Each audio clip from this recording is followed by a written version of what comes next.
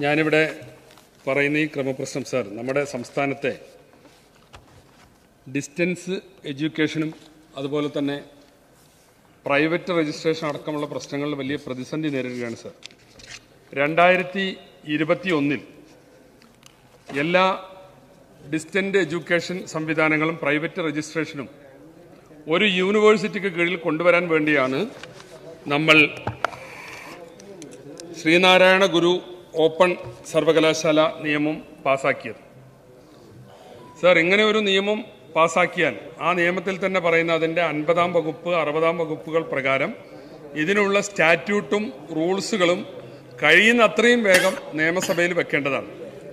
ഈ നിയമം നിലവിൽ വന്ന് മൂന്ന് വർഷം കഴിഞ്ഞിട്ടും നാളിതുവരെ യൂണിവേഴ്സിറ്റി സംബന്ധിച്ച ആദ്യ സ്റ്റാറ്റ്യൂട്ട് ഫസ്റ്റ് സ്റ്റാറ്റ്യൂട്ടും ചട്ടവും രൂപീകരിച്ച് നിയമസഭയുടെ പരിഗണനക്കായിട്ട് വച്ചിട്ടില്ല.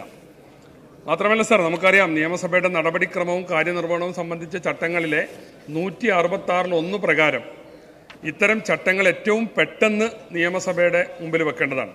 നൂറ്റി അറുപത്തി ആറ് എ പ്രകാരം എല്ലാ റെഗുലേഷനും ചട്ടങ്ങളും ഉപചട്ടങ്ങളും എത്രയും പെട്ടെന്ന് സഭ മുമ്പാകെ വെക്കാനുള്ള വെക്കണമെന്ന് അതിശക്തമായ നിർദ്ദേശമുണ്ട് സാർ. ഇതെല്ലാം ലംഘിക്കപ്പെട്ടിരിക്കുകയാണ്. സാർ ഇവിടെ ഒരു അവകാശ ലംഘനത്തിന്റെ പ്രശ്നമുണ്ട്.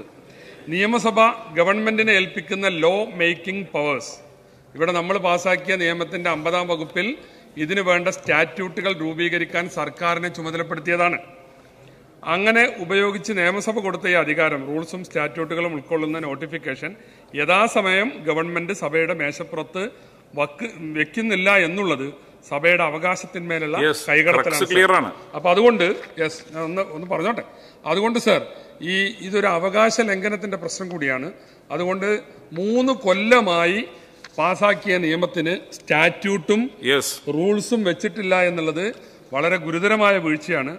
അതിൽ സർ ഇവിടെ ഒരു റൂളിംഗ് ഉണ്ടാവണം. അതോടൊപ്പം സർ ഒരു കാര്യം കൂടി ഞാൻ ശ്രദ്ധയിൽപ്പെടുത്തുകയാണ്. ഈ നിയമത്തിന്റെ എഴുപത്തിരണ്ടാം വകുപ്പിൽ പറഞ്ഞു ഇനി കേരളത്തിൽ വേറെ ഒരു സർവകലാശാലയും കേരള കോഴിക്കോട് ഗാന്ധി കണ്ണൂർ സർവകലാശാലകളിലും പ്രൈവറ്റ് ഡിസ്റ്റന്റ് എഡ്യൂക്കേഷൻ പാടില്ല ഈ നിയമം പാസ്സാകുന്നതോടുകൂടി.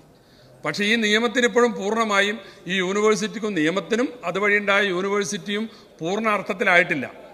പല പ്രൈവറ്റ് രജിസ്ട്രേഷനുകളും നിർത്തലാക്കി. ഒരു ഒരു ഘട്ടത്തിൽ ഈ നിയമത്തിന് തന്നെ നിങ്ങളൊരു എക്സിക്യൂട്ടീവ് ഓർഡറിലൂടെ ഈ എഴുപത്തിരണ്ടാം വകുപ്പ് മാറ്റേണ്ടി വന്നു. ഈ നിയമം പാസ്സാക്കുന്ന ഘട്ടത്തിൽ ഞങ്ങളത് പറഞ്ഞതാണ്. ഇത് പൂർണ രൂപത്തിലായിട്ടേ നമ്മൾ ഈ എഴുപത്തിരണ്ടാം വകുപ്പ് പോലുള്ള കടുത്ത നടപടികൾ വെക്കാൻ പാടുള്ളൂ എന്ന്. കാരണം ആരും. വേറെ ആരും പ്രൈവറ്റ് രജിസ്ട്രേഷൻ പാടില്ല എന്ന് ഇന്ന് നമ്മുടെ സംസ്ഥാനത്തെ ഡിസ്റ്റന്റ് എഡ്യൂക്കേഷൻ രംഗത്തും പ്രൈവറ്റ് എഡ്യൂക്കേഷൻ പ്രൈവറ്റ് രജിസ്ട്രേഷൻ രംഗത്തും വലിയ പ്രതിസന്ധിയുണ്ട് അതുകൊണ്ട് ഈ ശ്രീനാരായണ ഗുരു ഓപ്പൺ യൂണിവേഴ്സിറ്റി നിങ്ങൾ ഇതിലൊരു അതൊരു പൂർണ അർത്ഥത്തിലുള്ള യൂണിവേഴ്സിറ്റി ആകണമെന്ന ഉദ്ദേശത്തോടു കൂടിയാണ് കൊണ്ടുവന്നതെങ്കിൽ അതിന്റെ സ്റ്റാറ്റ്യൂട്ടും റൂൾസും അടിയന്തിരമായി നിയമസഭയുടെ മുമ്പിൽ വെക്കാനും അത് പ്രാവർത്തികമാക്കാനുമുള്ള നടപടികൾ ഉണ്ടാകണം. അങ്ങനെ വെക്കാത്തതിലുള്ള ഒരു ശക്തമായ റൂളിംഗ് ഞാൻ ബഹുമാനപ്പെട്ട ചെയറിനോട് ആവശ്യപ്പെടുകയാണ്. ബഹുമാനപ്പെട്ട ഉന്നത വിദ്യാഭ്യാസം സാമൂഹ്യ നീതി വകുപ്പ് മന്ത്രി. സർ രണ്ടായിരത്തി ഇരുപത്തൊന്നിലാണ് ശ്രീനാരായണ ഗുരു ഓപ്പൺ സർവകലാശാല ആക്ട് നിലവിൽ വന്നത്. ശ്രീനാരായണ ഗുരു ഓപ്പൺ സർവകലാശാല ആക്ട് രണ്ടായിരത്തി ഇരുപത്തൊന്നിന്റെ അൻപതാം വകുപ്പ് പ്രകാരം സർവകലാശാലയുടെ ആദ്യ സ്റ്റാറ്റ്യൂട്ടുകൾ സർക്കാരാണ് ഉണ്ടാക്കേണ്ടത്. ആയത് പ്രകാരം ശ്രീനാരായണ ഗുരു ഓപ്പൺ സർവകലാശാല ആക്ടിന്റെ അനുബന്ധമായി രൂപീകരിക്കേണ്ട ആദ്യ സ്റ്റാറ്റ്യൂട്ടിന്റെ കരട് തയ്യാറാക്കി കഴിഞ്ഞിട്ടുണ്ട്. തയ്യാറാക്കിയ കരട് ഇംഗ്ലീഷ് ഭാഷയിലാണ്. ആയതിന്റെ മലയാള പരിഭാഷ തയ്യാറാക്കുന്നതിനുള്ള നടപടികൾ സ്വീകരിച്ചു വരികയാണ്. കൊല്ലം കേന്ദ്രമായി പ്രവർത്തിക്കുന്ന ശ്രീനാരായണ ഗുരു ഓപ്പൺ സർവകലാശാലയ്ക്ക് നാല് പ്രാദേശിക കേന്ദ്രങ്ങളും ഇരുപത്തിമൂന്ന് ലേണർ സപ്പോർട്ട് കേന്ദ്രങ്ങളും ഉണ്ട്.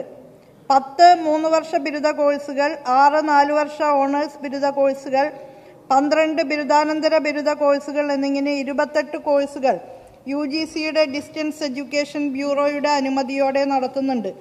ഇപ്പോൾ സർവകലാശാലയിൽ ഇരുപത്തിരായിരത്തിലധികം വിദ്യാർത്ഥികൾ പഠിച്ചു വരുന്നു.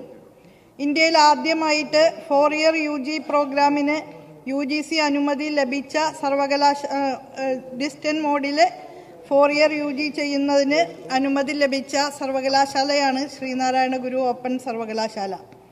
ഉന്നത വിദ്യാഭ്യാസ വകുപ്പ് തയ്യാറാക്കിയ കരട് ആദ്യ സ്റ്റാറ്റ്യൂട്ട് ബന്ധപ്പെട്ട സബ്ജക്റ്റ് കമ്മിറ്റിയുടെ സൂക്ഷ്മ പരിശോധനയ്ക്കായി ഉടൻ തന്നെ സമർപ്പിക്കുന്നതാണ്. ഇവിടെ മെമ്പർ ചൂണ്ടിക്കാണിച്ച പ്രൈവറ്റ് രജിസ്ട്രേഷനൊക്കെ ആയിട്ട് ബന്ധപ്പെട്ട കാര്യങ്ങൾ കഴിഞ്ഞ വർഷം കേരളത്തിലെ ഇതര സർവകലാശാലകൾ എങ്ങനെയാണോ ചെയ്തത്? അതേ സാഹചര്യം തന്നെയാണ് ഇപ്പോഴും നിലവിലുള്ളത് എന്ന് അറിയിക്കാൻ ഞാൻ ഈ അവസരം ഉപയോഗിക്കാം.